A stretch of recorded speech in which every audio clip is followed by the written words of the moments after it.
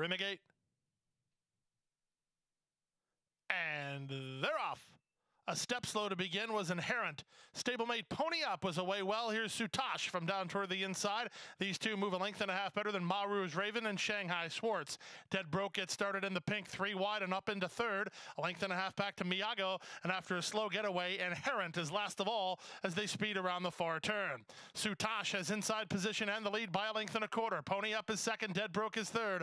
Maru's Raven ridden hard fourth, not yet gaining. Nor is on the outside Shanghai Schwartz. They're back fourth and fifth and not progressing. Four lengths back to the outside, and Miyago and Inherent tries to play catch up with less than a quarter of a mile to go. Sutash comes off the turn with the lead under Cornelio Velasquez. A length and a quarter the margin. Pony up second, Dead Broke third. Shanghai Schwartz is at a one pace fourth, and back to Maru's Raven. Final furlong, Sutash by two and a half. Pony up, charging hard again on the outside. Sutash digging in. Pony up taking a late push. Pony up at Sutash. Sutash in front.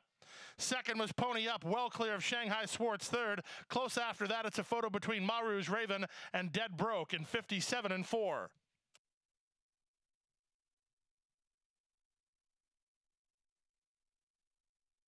Super high five wagering in this race.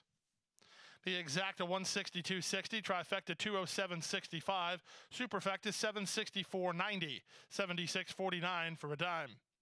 Daily double worth $58. Numbers were 8 1. No winners in the high five. That'll trigger a $2,057 carryover into